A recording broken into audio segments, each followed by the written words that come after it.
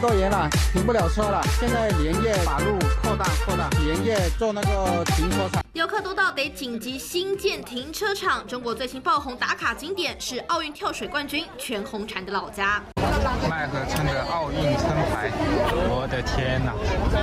这五 A 级旅游景点都没这么多人。无论村子入口还是家门口，都架起巨型看板，游客簇拥抢着拍照，场面堪比巨星演唱会。一旁街道整排都是小吃摊，抢赚这波奥运红船财。连全红婵的母校也成为景点之一。这就是世界冠军、奥运冠军的魅力，一个人带火了一个圈。靠水花消失术，全红婵成为中国最年轻奥运三金王。老家不止请来舞龙舞狮，还连着好几晚放鞭炮、放烟火。无论白天黑夜，整个村子挤满游客，眼看人潮只增不减，原本的喜悦逐渐变成负担。我俾佢老豆饮嘅，嘢我都冇理。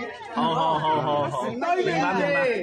多谢你，多谢多谢多谢。全红婵父母甚至因此搬到自家果园生活。我都不好意思，我说，呃，怕说错话，也不敢在下面，太多人。那个那房子是我是大嫂的，也不是我的。哦。不过我孩子呢都住他的房子。而全红婵自己也曾表示不喜欢受到这么多关注。我出去也只想干自己的事情，也不想这么多关注我，以正常人看待吧。